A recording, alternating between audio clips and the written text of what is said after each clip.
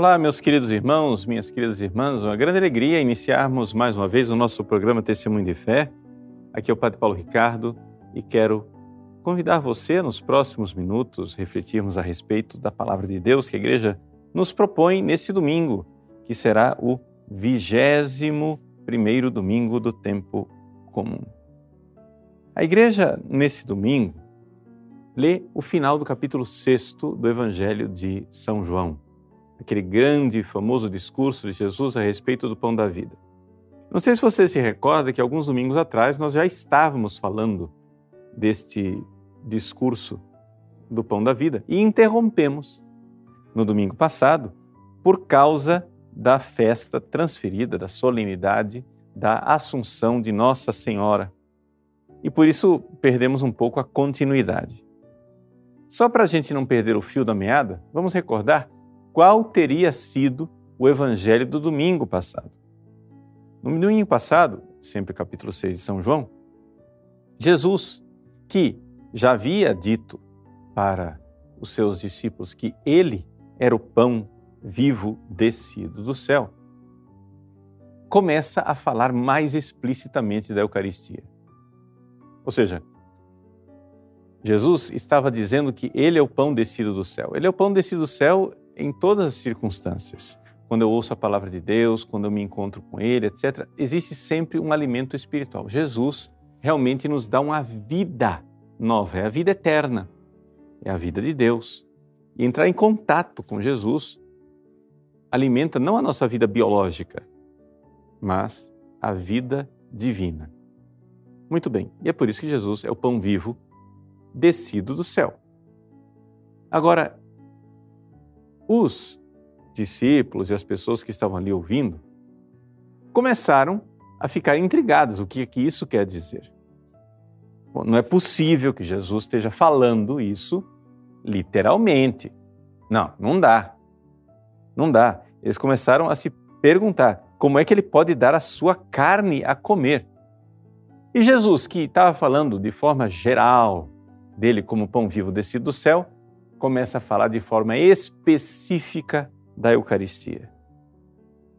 E ele diz que a minha carne é verdadeira comida e o meu sangue é verdadeira bebida. Quem come minha carne e bebe meu sangue permanece em mim e eu nele. Então vejam só. Quem come este pão viverá para sempre. Jesus então começa a falar claramente da Eucaristia. E é então, neste contexto, de Jesus falar: minha carne é a verdadeira comida, o meu sangue é a verdadeira bebida, que as pessoas então se escandalizam, e é neste contexto que nós podemos compreender o Evangelho deste vigésimo primeiro domingo do tempo comum, que é o Evangelho de São João, capítulo 6, versículos de 60 a 69. Os discípulos que escutaram minha carne é verdadeira comida, meu sangue é verdadeira bebida, ficaram escandalizados e começaram a dizer: essa palavra é dura, como quem consegue escutá-la? E então as pessoas começaram a se afastar de Jesus. Vejam, nós estamos aqui um ano antes da paixão de Cristo. No início desse capítulo 6 do Evangelho de São João, São João nos advertiu que nós estávamos perto da Páscoa. A Páscoa seguinte Vai ser a Páscoa na qual Jesus vai morrer na cruz. Um ano antes, Jesus fala da Eucaristia. E um ano antes, os discípulos começam a, abandoná-lo. E Jesus, então, vendo que todo mundo estava deixando ele, pergunta a seus apóstolos: Então, vocês também? Vós quereis ir embora? E aí São Pedro responde: a quem iremos, Senhor? Tu tens palavras de vida eterna. Então, São Pedro ali professa a fé, mas nem todos. Se você continuar lendo depois do versículo 69, Jesus diz: Pois é, eu escolhi vocês todos. E, no entanto, um de vocês, apóstolos, é um diabo. Estava falando de Judas, queria traí-lo. Quer dizer, um ano antes de trair Jesus, Judas já perdeu a fé. E perdeu a fé onde? perdeu a fé na Eucaristia. E aqui nós estamos diante de um drama que nós podemos já imediatamente aplicar para a igreja atual.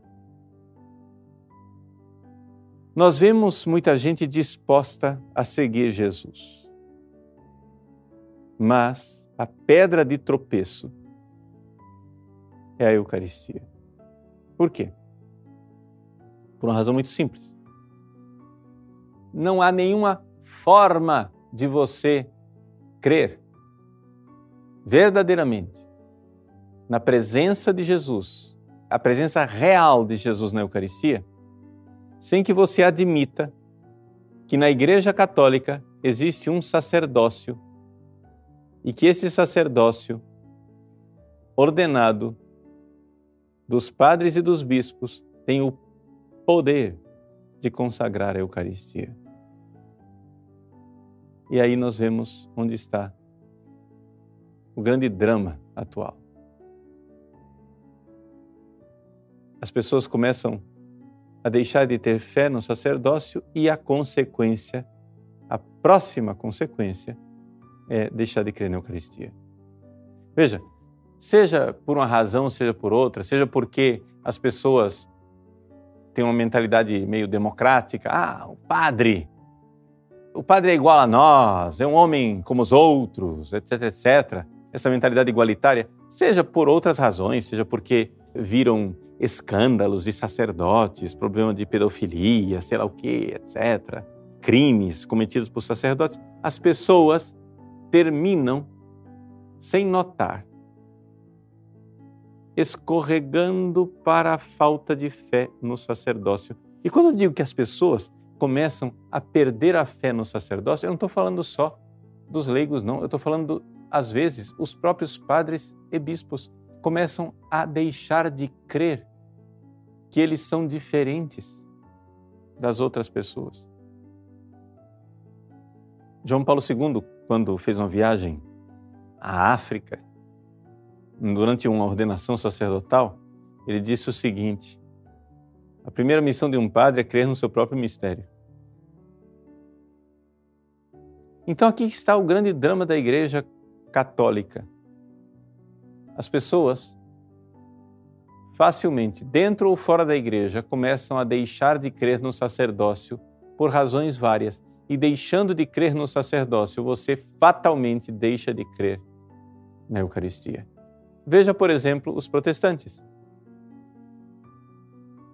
Desde Lutero, em 1517, quantas seitas e facções protestantes nós temos no mundo? Milhares e milhares. Milhares de denominações, igrejas, etc. Muito bem. Esses milhões e milhões de protestantes no mundo, não existe uma única igreja protestante que creia na Eucaristia. Por quê?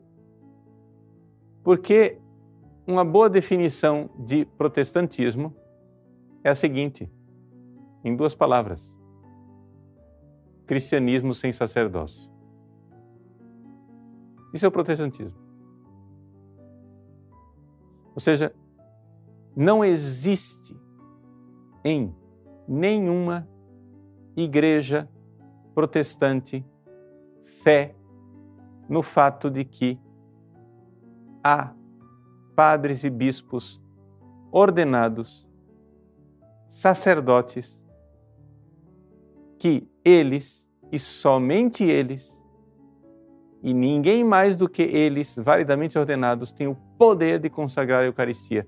Por isso, os protestantes podem até ter uma ceia, podem até ter alguma espécie de liturgia que se assemelha vagamente à liturgia católica. Mas nenhum protestante no planeta crê na Eucaristia. Por quê? Porque nenhum protestante do planeta crê no sacerdócio. O protestantismo é o cristianismo sem sacerdócio. Eles, sim, claro, Jesus é sacerdote para eles. Sim, claro, todos os batizados são sacerdotes, mas não é disso que eu estou falando. Estou falando de um sacerdócio ordenado, instituído, com um poder especial de consagrar a Eucaristia. Ora, se você não tem um sacerdócio, você não tem a Eucaristia. E se você for ver historicamente falando, é aqui que começou a briga de Lutero. Quando Lutero começou a ver os desmandos, os pecados e as fraquezas do clero, olhando inclusive para os pecados dele mesmo, ele começou a se escandalizar e então ele começou a inventar um cristianismo sem sacerdócio. Esse cristianismo sem sacerdócio, ele era muito cômodo e oportuno para os príncipes, ou seja, para as autoridades civis da época de Lutero. Porque aí se viam livres das influências da Igreja Romana. Você veja historicamente, se você for estudar a vida de Lutero, um dos livros mais completos é o livro escrito pelo padre, um padre jesuíta chamado Padre Garcia Villoslada, publicado pela BAC na Espanha. Dois volumes a respeito de Martinho Lutero, a vida dele. E você vê claramente que o protestantismo não teria ido para frente sem que Lutero tivesse o apoio dos príncipes. E você vê claramente que, na verdade, o que Lutero queria não era fundar uma nova igreja. Ele queria pegar toda a igreja católica, toda, tirar do poder do Papa, dos bispos e dos sacerdotes e entregá-la na mão dos príncipes, das autoridades civis. Então é evidente que a primeira coisa que você tem que fazer para desacreditar a hierarquia da Igreja Católica é dizer que ela não tem poder nenhum espiritual. Se você não tem poder espiritual, você não consagra o pão e o vinho. E aqui está, em breves pinceladas, a descrição da grande diferença nesse campo da Eucaristia entre católico e protestante. O protestantismo é um cristianismo sem sacerdócio ordenado e, portanto, não há padres capazes de consagrar a Eucaristia com a presença real de Jesus. Quando você chega e diz que não há padres com esse poder, e que na verdade quem celebra a Eucaristia são todos os batizados, então a Eucaristia torna-se um símbolo, uma recordação. Ah, aquele pão e o vinho lá não é nada diferente, porque se se qualquer batizado pode pegar aquele pão e aquele vinho e celebrar a ceia, o que é que é aquele pão e o vinho? É pão e vinho, acabou, nada mais. Mas nosso Senhor Jesus Cristo é bem descritivo no seu discurso do pão da vida e nós podemos ler isto no Evangelho de São João, nos versículos que precedem o Evangelho desse domingo. Ele diz e não dá para dizer que ele não diz. Evangelho de São João, capítulo 6, versículo 55. Minha carne é verdadeira comida e meu sangue é verdadeira bebida. Jesus é muito descritivo e claro nisso daqui. Ele não está dizendo que a minha carne simboliza. Não, ele está dizendo que nós temos que comer da carne dele, nós temos que beber do sangue dele e em seguida ele diz que é o pão que desce do céu. Ele está falando da Eucaristia. Agora, tudo bem, vimos isso, vimos a crise de fé em Lutero há 500 anos atrás, mas essa crise de fé continua hoje. Quando você pega teólogos como Hans King, teólogos como Leonardo Boff, você vê que esses teólogos modernos, eles têm uma única coisa. Eles estão lenta e gradualmente, e às vezes não tão lenta e não tão gradualmente assim, tirando o poder da hierarquia da igreja e entregando nas mãos da ONU, que são os príncipes dos tempos modernos. Para organizações internacionais, para fundações ou para partidos locais que vão fazer depois um grande projeto internacional, seja como for, você vê claramente que os bispos, os padres, ficam destituídos de poder. E se entrega o poder nas mãos da ONU, nas mãos dos príncipes dos tempos modernos. Então, só se fala de obediência à hierarquia da igreja quando é para você obedecer à igreja, supostamente que estaria entregando o poder e se rendendo aos poderes mundanos. Aí sim, aí você tem que obedecer.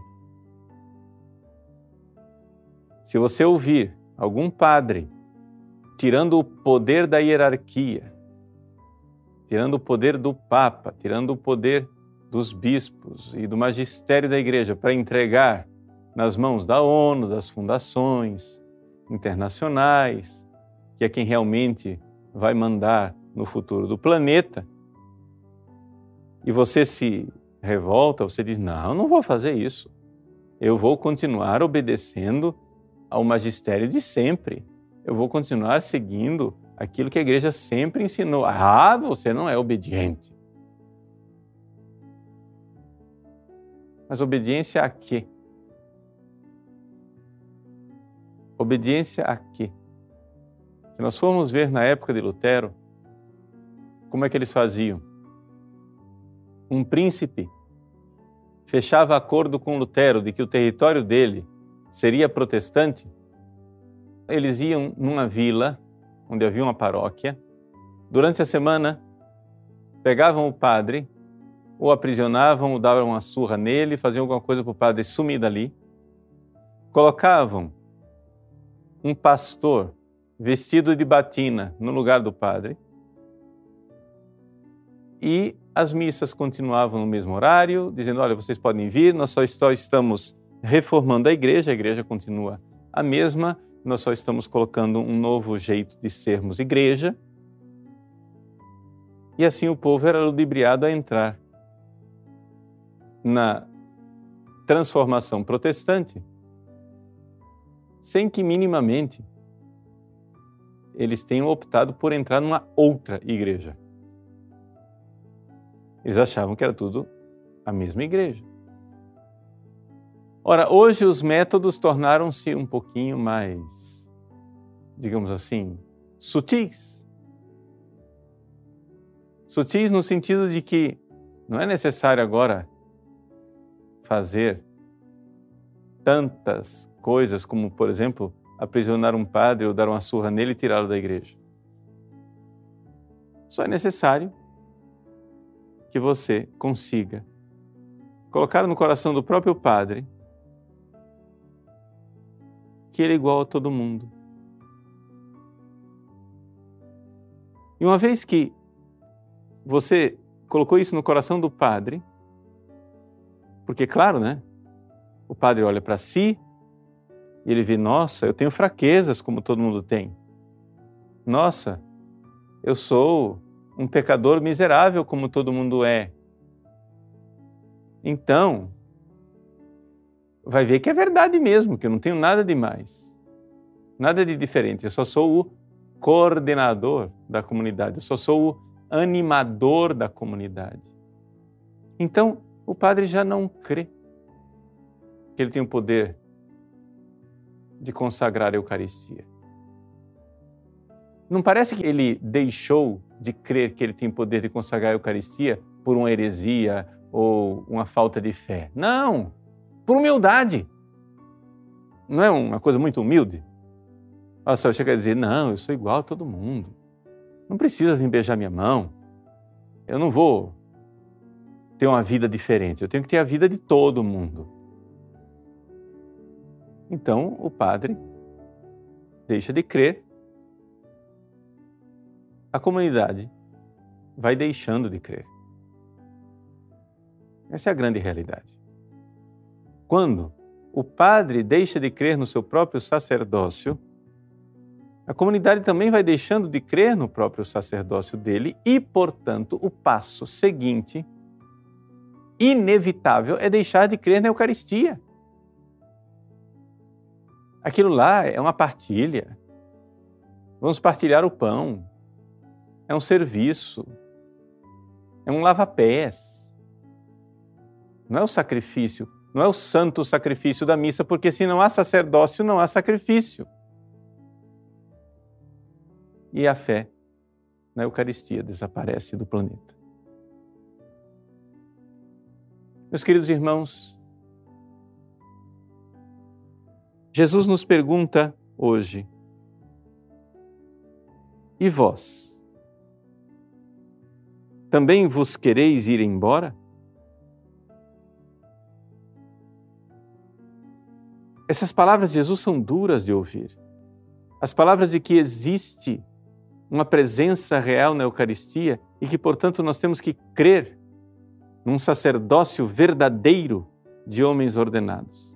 Para nós é muito mais cômodo ao ver que os padres têm fraquezas, pecados ou crimes, é muito mais cômodo chegar a dizer padre é igual a todo mundo.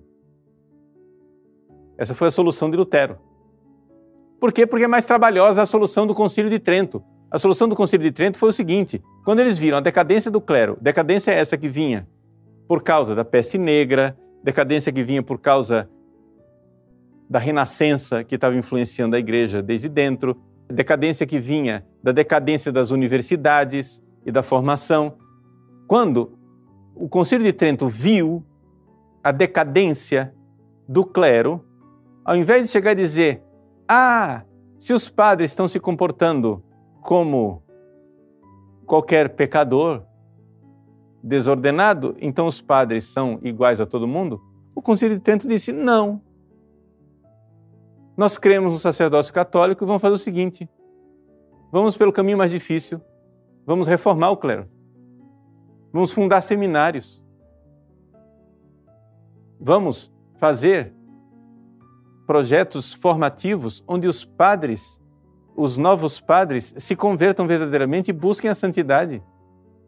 É claro que foi muito mais trabalhoso. É claro que foi um trabalho que a igreja se propôs e que não durou décadas, durou séculos. Só que agora, com os nossos seminários, muitas vezes pouco cuidados, com uma imensa dificuldade na seleção de candidatos e na formação verdadeira desses candidatos, é claro que começam a aparecer cada vez mais numerosamente os escândalos na classe sacerdotal. Podemos, aqui temos uma escolha. A escolha de Lutero, dizer: ah, sacerdócio não existe. Bobagem. É um homem igual a todos. E, portanto, estamos jogando fora a nossa fé na Eucaristia, porque se não há sacerdócio, não há Eucaristia. E, portanto, fica totalmente sem sentido o discurso de Jesus a respeito do pão da vida. Nós estamos numa outra religião e não aquela que Jesus deixou. Ou então, vamos pelo caminho árduo e difícil, que é o caminho de que eu, Padre, eu, estou falando de mim, eu, preciso reformar os meus costumes. Preciso reformar a minha vida, buscar verdadeiramente a santidade, crer no mistério do meu sacerdócio, porque eu creio no mistério da Santíssima Eucaristia. Minha carne é verdadeira comida, meu sangue é verdadeira bebida. Rezemos, rezemos generosamente para que se mantenha a nossa fé na divina e santa Eucaristia que esse augustíssimo sacramento seja o centro da vida da igreja. Eclésia de Eucaristia. A igreja nasce da Eucaristia. Mas para isso, precisamos entender que Jesus hoje olha também para os seus apóstolos, como olhou há dois mil anos atrás, e diz para os seus padres: Vós também vos quereis ir embora? Rezemos pelos nossos sacerdotes. Deus abençoe você. Em nome do Pai, e do Filho, e do Espírito Santo. Amém.